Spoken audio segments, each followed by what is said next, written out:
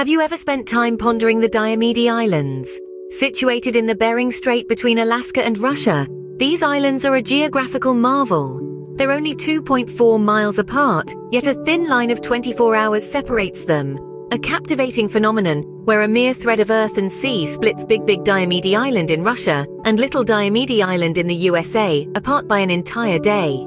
This line of demarcation introduces us to the fascinating concept of the international dateline, leading to intriguing nicknames for the islands, Tomorrow Island and Yesterday Isle. Perhaps you've come across this term during your exploration of time and geography. The international dateline is something most of us are familiar with, but only a handful can truly grasp essence. Today, we aim to change this. Prepare yourself as we embark on a journey to the mysterious Diomede Islands, deciphering the riddles of the international dateline, breaking down its intricate details, and making it comprehensible for all. Today, we dive into the enthralling world of the Diomede Islands and the international dateline.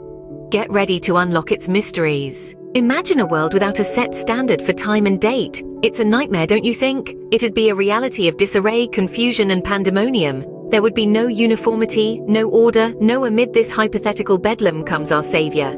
The International Dateline. This concept, a brainchild of Diomede, serves our beautiful planet as an unseen yet powerful timekeeper.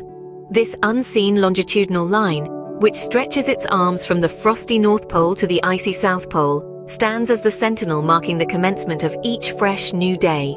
It's the line where dawn is born, where each new day takes its first breath. At the stroke of midnight, when the clock hands align, the first location on Earth to welcome the new day is found just to the west of the International Dateline.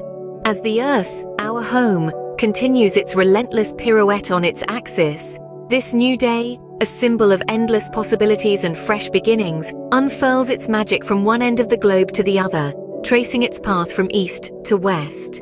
This fascinating phenomenon, a dance as old as time itself, unfolds in a captivating sweep across our planet's face.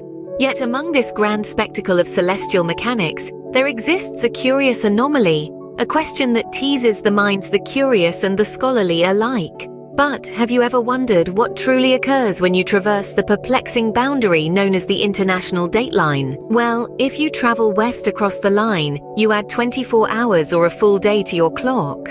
This concept may seem intriguing, and indeed it is. It's an essential quotient of international timekeeping that has been in effect since 1884. The addition of these hours isn't merely an arbitrary but rather a carefully calculated system that takes into account the Earth's rotation and the various time zones that divide our globe. Similarly, the reverse applies when you venture in the eastern direction. The dynamics stay the same, but instead of adding, you subtract the same amount of time, effectively balancing out the equation.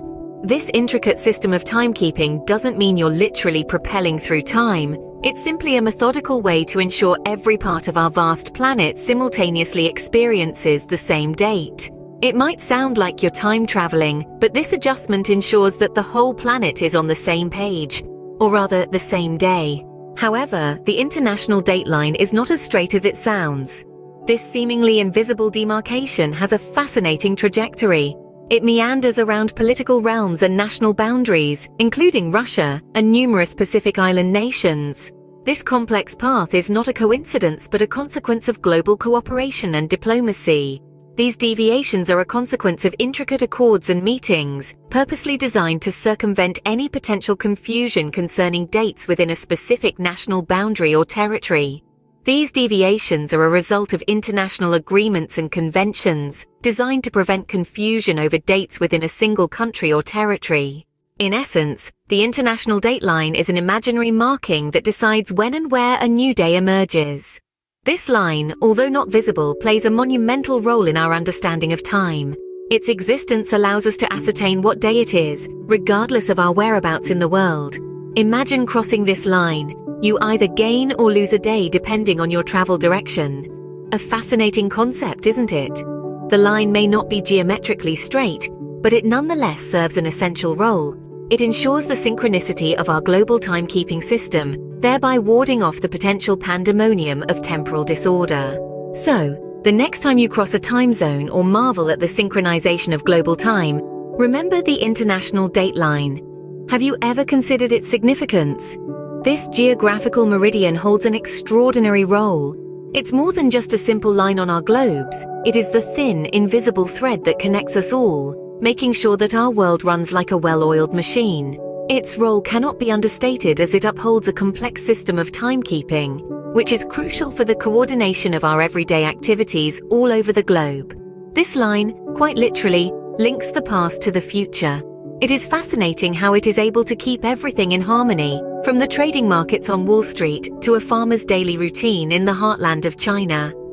This line is an unsung hero that ensures the smooth functioning of our global calendar. Did you know that the International Dateline has some interesting quirks? Let's take a look at the Diomede Islands, located in the Bering Strait between Alaska and Russia. These two islands are only about 2.4 miles apart, but they are separated by the International Dateline. This means that when it's Saturday on Little Diomede Island, USA, it's already Sunday on Big Diomede Island, Russia.